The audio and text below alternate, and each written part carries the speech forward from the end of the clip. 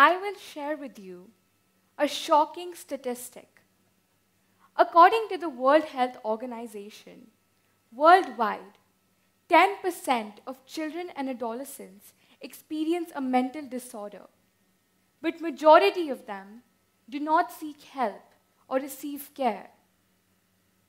Suicide is the fourth leading cause of death in 15 to 19 year olds. The consequences of not addressing mental health and psychosocial development for children and adolescents extend to adulthood and limit opportunities for leading fulfilling lives. According to UNICEF, there are 1.3 billion adolescents in the world today, more than ever before, making up 16% of the world's population.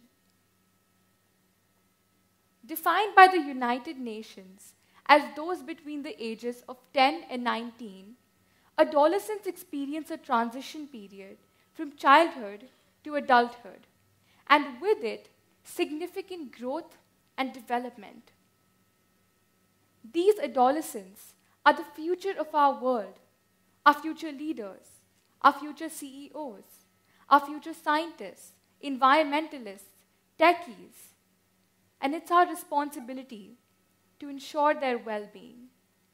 While this data shows that 160 million adolescents in the world today are suffering from a mental disorder that needs serious medical intervention, I, as an adolescent, believe that each one of us needs support to tide through the anguish of being an adolescent. The examination stress, pressure of studies, peer pressure, competition, managing friendships and relationships, bullying, racism, body shaming. The list is endless. We need a ramp to get into adulthood. Where is that ramp? That support. There's no concrete solution available in the market today that caters to adolescents when it comes to mental health. But the truth is, our mental health matters. When we bring up technology when talking about mental health, we always seem to view it as an antagonist. Technology has always been known to impact mental health negatively, increasing issues such as depression and anxiety. But what if I told you technology can be good for mental health? Have you ever heard of metaverse, AR VR, Web 3.0?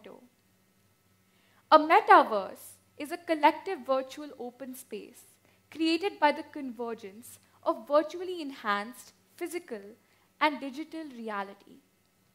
It's physically persistent and provides an enhanced immersive experience. There was Web 1.0, a read only internet. Then came Web 2.0, where the user could interact with the internet. The metaverse gives rise to Web 3.0, an amalgamation of all these new technologies. What's special about the metaverse is that it makes the user feel like they're physically present, but they're not actually physically present. So it provides anonymity, convenience, and it does not limit treatment. As in, there are countless tools that could be utilized in the metaverse that could not be utilized in real life. A randomized controlled trial conducted recently evaluated the efficacy of immersive cognitive therapy in lowering anxiety of individuals with psychosis. And it found the greater the intensity of symptoms, the greater the efficacy of immersive cognitive therapy. Another study conducted, which is actually a very interesting one, placed individuals with severe depression in virtual simulations where they had to comfort a crying avatar with compassionate words and then switch roles and receive the comfort as well. This led to a significant decrease in depression severity and a significant increase in self compassion. The metaverse can reportedly develop creativity and social intelligence in teenagers. Apart from efficiency, the metaverse can make mental health more accessible. People are able to access mental health support without geographical limitations because it's virtual. Moreover, the minimum requirement to access an immersive experience of metaverse is not an AR VR device as of yet. It's just a phone or a technological device. And everybody has a phone in times of today.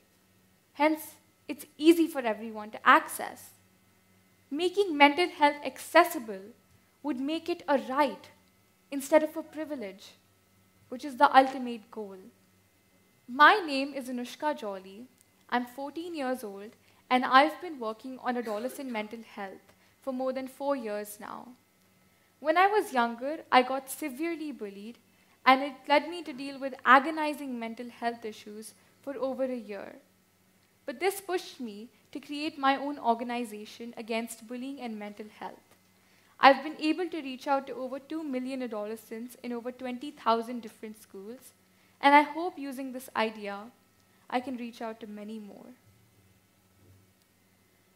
The need of the hour is an anonymous, affordable, community driven modern digital platform that brings personalized and the right level of support for our young people.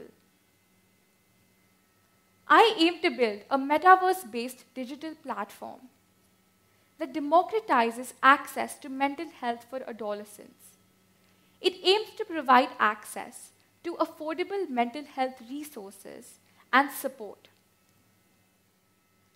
Imagine a virtual world where, with a click of a button, you have access to world class mental health professional experts, where you can use meditating zones or calm your mind, where you can meet or create a like minded community, all while choosing to maintain your anonymity. I want to create a future ready digital mental health platform that combines the power of blockchain, AI, immersive therapy, and metaverse technologies to provide the adolescents with a decentralized, immersive, data driven, gamified, and secure application. In order to provide that support, the idea is to develop three zones on this platform. First, a counseling zone, where you can, while maintaining your anonymity in your avatar, talk to professional counselors and seek professional help.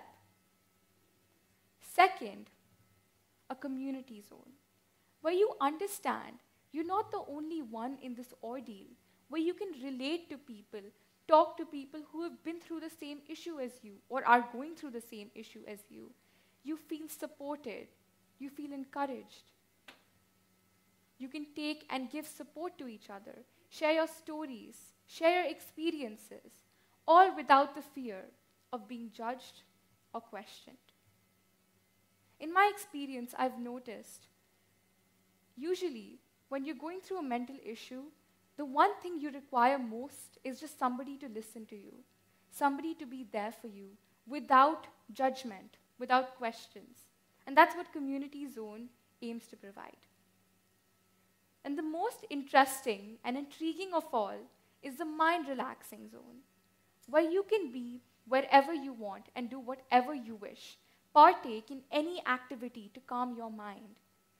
In short, you can create your own bubble of happiness and let yourself relax from the chaos of mundane life. All these three zones, all these three features are amplified because the experience is immersive. And since the platform is for adolescents, they're already familiar with the metaverse experience. They play immersive games online. As an entrepreneur, I've always believed in technology. I've always believed in the benefits of technology and how it can help someone grow immensely, how it can bring positive change, especially for startups. I've always used technology, I've always incorporated it in my past approaches, and I will continue to do that in the future. Now that I'm starting to focus on mental health as a whole, I will be making use of futuristic technology to do the same, metaverse, and immersive technology. Thank you.